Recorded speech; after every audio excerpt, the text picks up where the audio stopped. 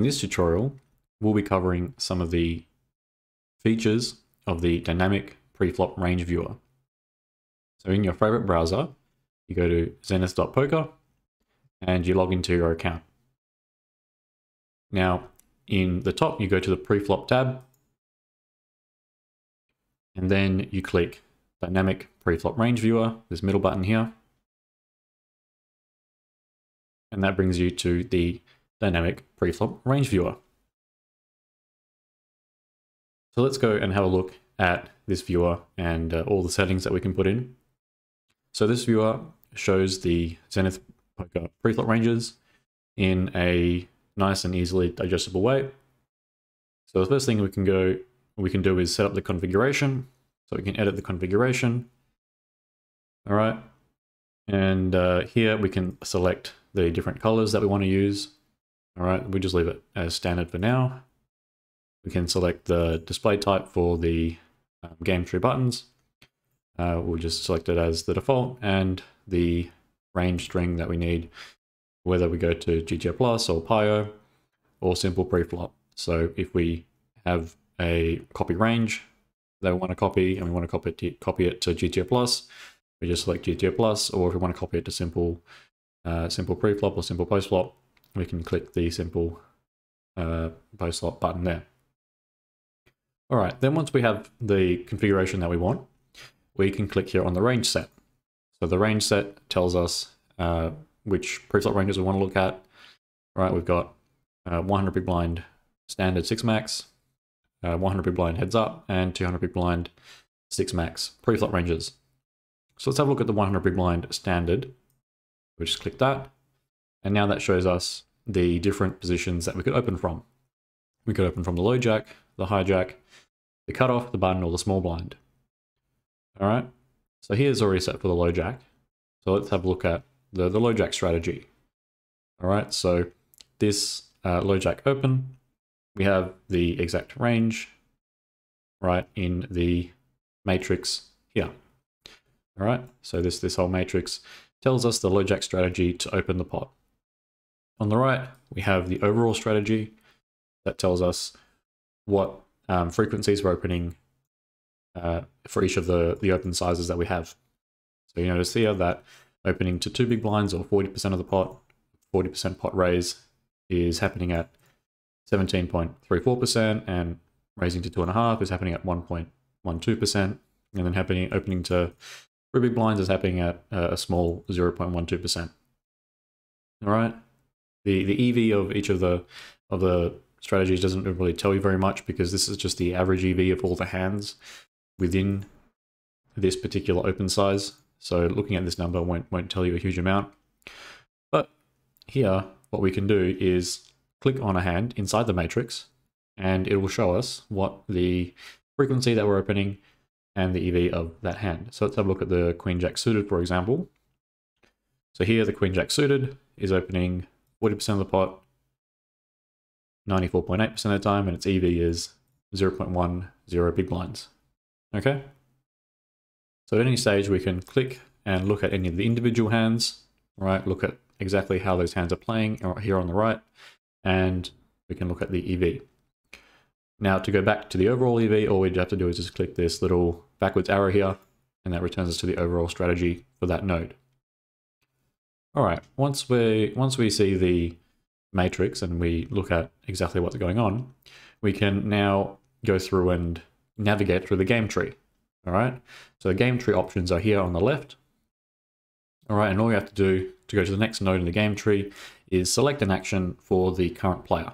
All right, so here for the low jack, let's say the low jack opens to two big blinds. All right, we have the low jack opening two big blinds, and then boom, that'll that'll load in the the next action. All right. So after the low jack opens to two big blinds, we've got the hijack's decision. The hijack can, in this simulation, open to 75, 50, or, or 100, all right? Or 4.75, 6.13, and 7.50. So you've got those um, different uh, different three bet sizes for the hijack, and you've got the, the frequency there. All right. Now, we also have some other options after the hijack folds. We can fold directly to a certain player. Okay. So let's say, for example, we want to fold it to the small blind, right? If we want to say, for example, how the small blind responds to the low jack open, we just click fold to small blind.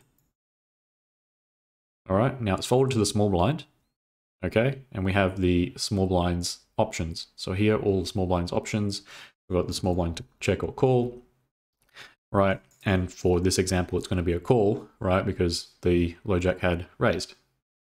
Um, we've also got the small blind three betting to seven, nine and a half, 12, or 14 and a half, and the corresponding frequencies at which it does that. And each of the individual hands inside the, the matrix here, you can click on it and see how that hand plays. All right, and so back to the game tree. Let's say, for example, the small blind uh, makes a three bet. All right, so let's have a look at the overall strategy. Let's say the small blind three bet to this 150% pot three bet size. Okay, so that goes to nine and a half big blinds. The small blind is three bet to nine and a half, and now we've got the next action, right? The next action here is the big blind, right? So big blind is still left to act. Big blind might come in for say, for example, like a call. They might decide to raise, right? Or they can just fold. You can look at the, the frequencies of each of the actions. So here you've got the big blind folding at 96.81%. So let's just say the big one folds. And now it's back on onto the low jack. Now these hands here are blacked out because they weren't in the opening range for the low jack to start with. All right, so if it's not within the range, it's just blacked out. So then it's just the white that will tell you exactly whether whether to, to fold, the green to call, and here the, the orange to, to raise. And remember, if you don't like these colors, if these colors are, are bad for your eyes, you can always go and change the colors in the configuration. All right, so say for example, I want to change to rainbow colors. I do it like that, or Simpsons colors, I do it like that. Or phase, do it like that. All right, so if, if, if you don't like the colors, you can always change them, okay? Um, and then you just keep going through through the game tree, right? You can go and look at the individual uh, actions here for the low jack, what low jack might do as a response. Okay, so let's say, for example, we've got the low jack min raise, all right? And now this is the small blind, how, how small blind plays each of those hands. All right, so the view which, which you get is the small blind's strategy. It's not the small blind's range, the small blind's strategy. In order to get the range, all you have to do is click the copy range button. So here at the bottom here, you just click the copy range button, okay? And that shows us this second panel and now you can go and select which hands, uh, which, which of the actions you want to include in the range that you're going to copy. Say, for example, I want to look at this, the, the small blind call against this low jack 4-bet. All I have to do is turn on the call button and then turn off the, the rest of them. So this is just going to give me the range which calls the 4-bet. Okay? Now, if you're in Firefox, you can you can just click the copy button and that'll copy it to your clipboard. Or if you're in Chrome and you have trouble with this copy button, you can just manually copy the range. All right. So this, I can go and copy range. So I've copied that and now I can put it into a program like GTO Plus or Power Equilab or Simple Post Flop and, and anything that you want, right? So just copy it. So now I've, I've copied the small blinds range, okay? Which is different from the small blinds strategy, right? Because remember, the small blind might not have three bet all of these hands uh, before the flop at, at, at full frequency, but they're, they're calling some of these hands at full frequency, right? So here you look at the um, the pocket threes strategy, right? It only three bet that hand to this size at a 1.6% frequency, but it's calling it all the time once it gets full bet. All right. So we just go copy range. Here I'm now copying the small blinds call range. So copy that, copy that, and then I paste it into um, say, for example, GTO Plus, if I want to run a post-flop sim. Okay, and then what, what I can do to go back in the in the game tree, I don't have to go and restart, but I can go and click the back buttons here. So each of these back buttons will immediately return you to that node in the tree. So say, for example, I want to go back to the low jack min raise and I want to copy the low jack min raise's range, I just click the back button here. And now I copy the range. I see that I want to copy the low jack min raise, so I include that and I exclude the other ones and now I copy that, all right? And I copy that range and I will paste that into my post flop solver to uh, complete the ranges for the two players going post flop. Okay. Now, say, say for example, I'm done with this and I want to restart the low jack. All I can do is just click, click the low jack and that boom, that, that, that returns you immediately to the first node in the low jack. Or now I want to see what happens after the LoJack folds, right? There's no LoJack fold option here. All we have to do is re remember that after LoJack folds, the hijack opens. So we click the hijack button, and now we're looking at the hijack's opening range. Okay, after the hijack folds, the cutoff opens, etc. So it's fairly easy to use. Say, for example, I just want to look at the cutoff opening range, right? I see I've got the option to go um, to two and a half.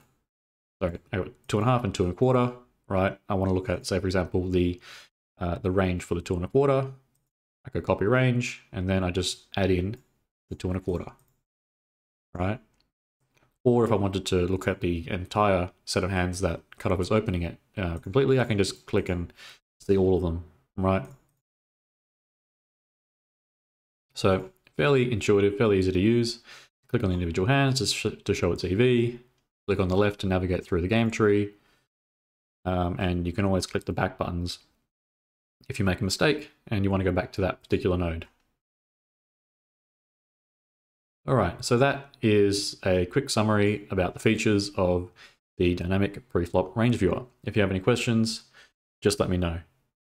Bye now.